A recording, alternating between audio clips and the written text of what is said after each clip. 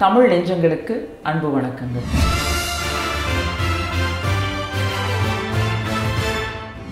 சமுதாயத்தில் நடந்த சில முக்கியமான நிகழ்வுகளை திரும்பி பார்க்குற நிகழ்ச்சி தான் யாவரும் கேளீர். இந்திய வரலாற்றிலேயே தேர்தலின் போது கொடுத்த வாக்குறுதிகளை எண்பத்தி எட்டு சதவீதம் நிறைவேற்றிய ஒரே கட்சி திமுக தான்.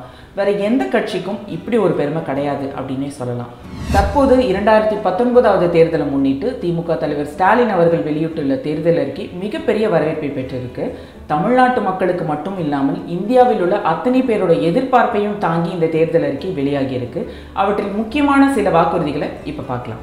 கார்ப்பரேட்டுகளுக்கு ஆதரவாக இருக்கிற மோடி அரசும் ஊழல் அதிமுக அரசும் விவசாயிகளை கடந்த அஞ்சு வருஷமாக புறக்கணிச்சதுனால நிறைய விவசாயிகள் தற்கொலை பண்ணிக்கிட்டாங்க. இந்த நிலையில் நாடாளுமன்றத்தில் வேளாண்மை துறைக்குன்னு தனியாக நிதிநிலை அறிக்கை தாக்கல் செய்யப்படும் என்ற அறிவிப்பும் சிறு குறு விவசாயிகளின் அனைத்து பயிர்க்கடன்களும் முற்றிலுமாக தள்ளுபடி செய்யப்படும்.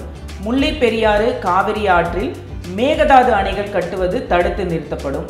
தென்னிந்திய நதிகளை இணைக்க நடவடிக்கை எடுக்கப்படும் தமிழகத்தின் நெற்களஞ்சியமான காவிரி டெல்டா பகுதிகள் பாதுகாக்கப்பட்ட சிறப்பு வேளாண் மண்டலமாக அறிவிக்கப்படும். இது வந்து பல வருஷமாக காவிரி டெல்டா பகுதி விவசாயிகளோட முக்கியமான கோரிக்கை அப்படின்னே சொல்லலாம்.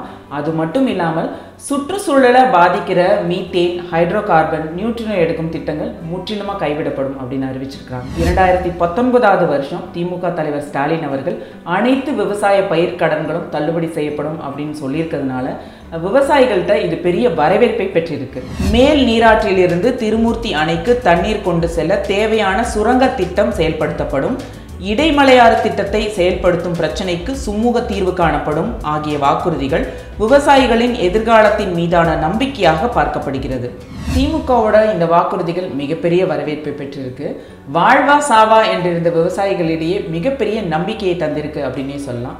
இன்னைக்கு திமுகவோட தேர்தல் அறிக்கையில் சிலவற்றை பார்த்தோம். இதேபோல் வேறு சில முக்கிய அறிவிப்புகளுடன் மீண்டும் சந்திக்கிறேன். யாவரும் கேளீர்.